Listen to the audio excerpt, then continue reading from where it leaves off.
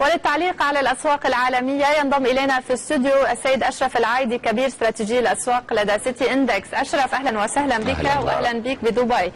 آه، أشرف لنبدأ من الموضوع الأبرز التيسير الكمي ال quantitative easing لدى الفيدرالي هل نتوقع أن يتم خفض قيمة هذا البرنامج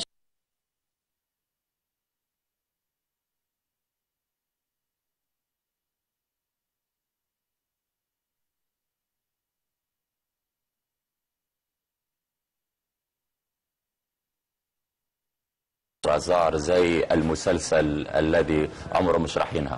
وال plot بتغير كل أسبوعين مسلسل الارقام مكسيك أيضا. مكسيكي وال... وال... ولا من يعني من تركيا ولا من آه، سوريا ولا شوفي بيقول لك إنه الرقم كان قوي اليوم. فالرقم هذا راح يقوي فلي يعني ربما سيقنع البنك المركزي إنه سيقلل تيسير الكمي من 85 مليار إلى 80 تو- ولا 70 بعد أسبوعين يكون في هناك خيبة الأمل مش مثل ال manufacturing ISM اللي هو آه، مؤشر المؤشر القطاع الصناعي. أيوه القطاع الصناعي آه، نحن نعتقد إنه شوفي آه، يعني يعني بكرة آه، يمكن إذا الرقم راح يجي أكثر من 150 ولا 170 ألف يمكن Non-farm سيقنع payrolls. في عدد الوظائف يمكن إنه سيقنع السوق إنه يمكن إنه البنك المركزي سيكون آه، سيكون له قناع ولا آه، سيقتنع بعد شهر 8 إنه يمكن أن يقلل هذا ضخ السيولة. ولكن نحن لا نعتقد ذلك. نعتقد أنه لن يكون هناك تغيير في التيسير الكمي حتى إلى شهر واحد ولا شهر اثنين لماذا؟ لأنه معظم مصدر القوة الذي يأتي في الأسواق المالية يأتي من the private sector من القطاع الخاص لأنه كما نعرف القطاع الببليك ولا القطاع الذي يتعلق بالحكومة متعلق جدا آه، بالسكوستريشن ولا الهاوية المالية التي تجبر النفقات أن أن أن يعني يعني تنخفض في القطاع القطاع الحكومي فكله صار يتكل على القطاع الخاص وهذا يتكل على إيش؟ على آه، سوق المال والبورصة. وسوق المال ينتظر عذر ولا اكسكيوز من إنه ينزل ولا من إنه هون يستريح هون سؤالي أشرف يعني نعم. هل الأسواق عم تتراجع آه، تخوفا من موضوع التيسير الكمي أم عم تنتظر أي عدد للتصحيح بعد الارتفاعات إلى المستويات القياسية وبالتالي هل أنت تتوقع المزيد من التصحيح؟ لقد مضت الأسواق 52 أسبوع بدون ما نزلت 10% from peak to trough من 10% آه، من أعلى نقطة إلى يعني يعني الأسواق طلعت سواء كان الفوتسي ولا الداو جونز ولا الداكس. وآخر مرة آخر مرة إنه كان فيها يعني أداء كثير قوي بدون نزول من أكثر من 10% كانت كمان 52 أسبوع.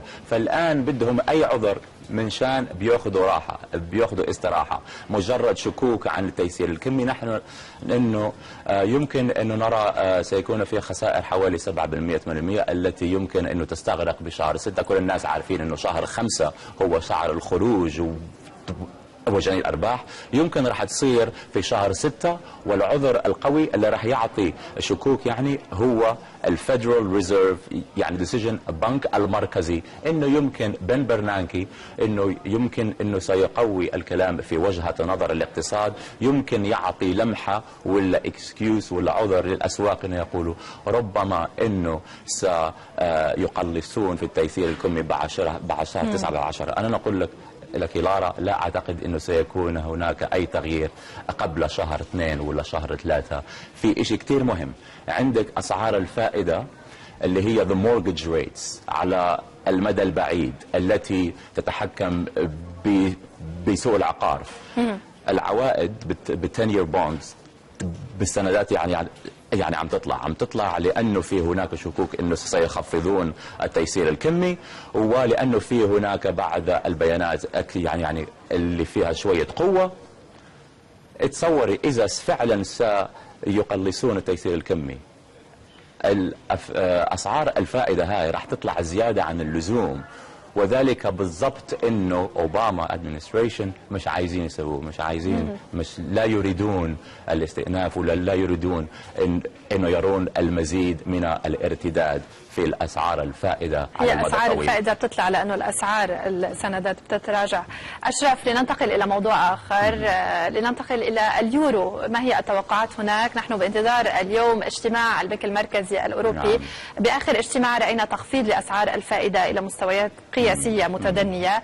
آه، ولكن بنفس الوقت دراغي قال بأنه البنك المركزي مستعد لأخذ أي إجراءات إضافية لدعم النمو. ما زلنا نتحدث عن ركود في منطقة اليورو وأيضا مستويات بطالة فوق ال 10% أو حتى فوق 12% إذا ما كنت غلطانه بالتالي ماذا نتوقع اليوم؟ يعني لا نتوقع تخفيض إضافي لأسعار الفائدة ولكن هل نتوقع أي إجراءات إضافية أو حتى تلميح لهذه الإجراءات؟ والمسلسل الأوروبي سينتهي ما وراء البحار وهو إلى مدى إعطاء التلميحات للأسواق. أنه سنيور ماريو دراغي سيدع الباب مفتوح إلى المزيد من تخفيض أسعار الفائدة وهذا هو بالضبط الذي سيعمله. سيتكلم أنه تضخم المال الآن 1.2 1.3% كثير أقل من المستهدف في 2% ويقول أنه نحن غير مبسوطين عن البطء. فهذا سي... سيتم ترجمته من الأسواق أنه يمكن أن يكون هناك المزيد من خفض أسعار الفائدة.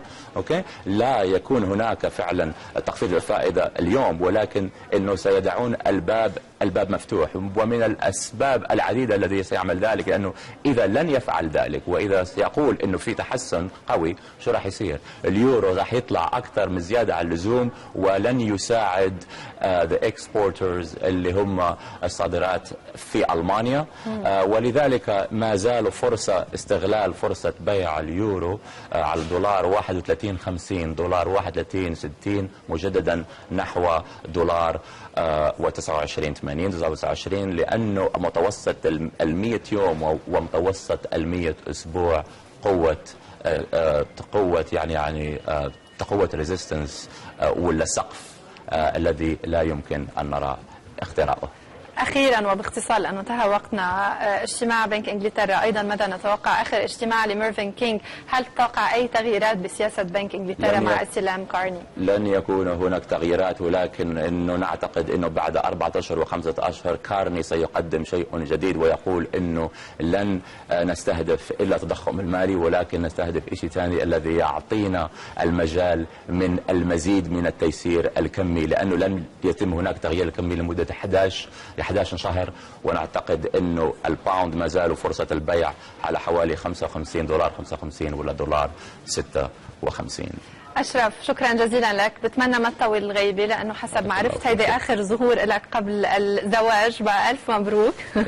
شكرا أشرف العايدي كبير استراتيجي الاسواق لدى سيتي إندكس. مشاهدينا فاصل قصير. نتابع من بعده. أيضا في الأسواق العربية تراجع المخزونات الأمريكية يدعم أسعار النفط.